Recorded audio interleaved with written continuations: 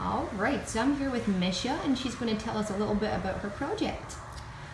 Yes, we uh, we rented our house for about eight months. Looked around in Carlsbad and found uh, that we couldn't replace our house that we had, so we purchased the house knowing that we would have to do a large remodel to get it the way we wanted. So after a couple of years and, and changing our minds back and forth, we the one thing actually, the one thing in the beginning that we wanted and we built everything else around was the doors. We saw a modeled home when we first lived, uh, first were looking around in this area that had panoramic doors, which is interesting that it all came back because I looked at all the other door systems.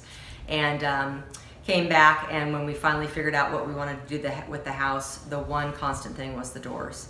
And um, when we realized that there are a lot of different systems of way of opening, put it in the wall, don't put it in the wall, having it fold, whatever, um, we did a lot of research on it. And we actually went to a Del Mar home show. Great. And so we worked with our builder and uh, you know, did did the plans and now we're, we're ready to go. So awesome. we're excited. We're excited too. Thank you so much.